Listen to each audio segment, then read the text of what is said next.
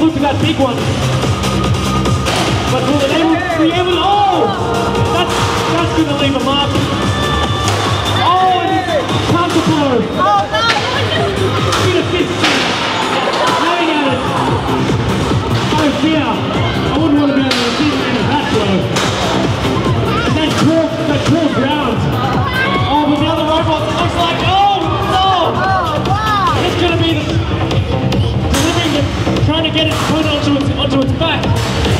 expose the soft underbelly of its hard metal.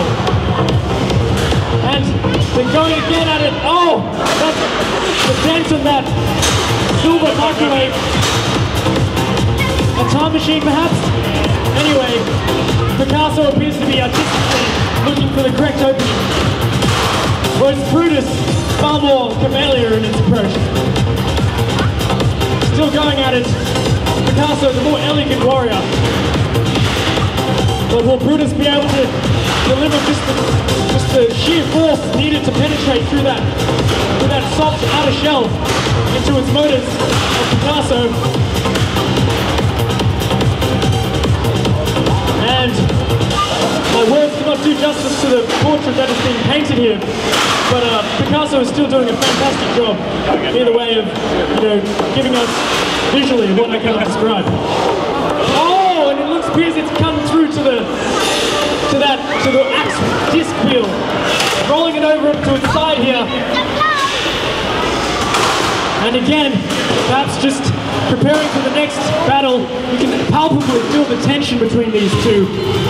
The drivers, very experienced battlers, each of them.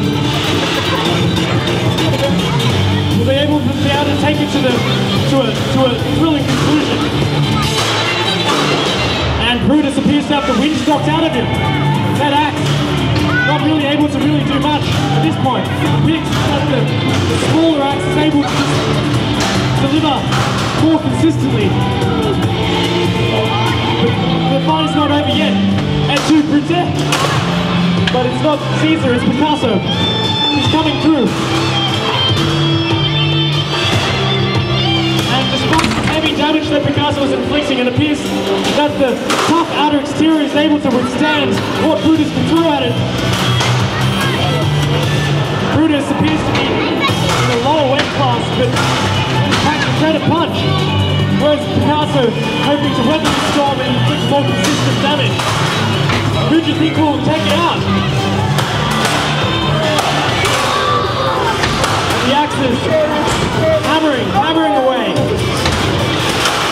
Are they able to drive it through to where it counts though? Ten seconds to go. Five seconds. Three, two, Ceasefire. Give it up, boys. Give it up, ladies and gentlemen.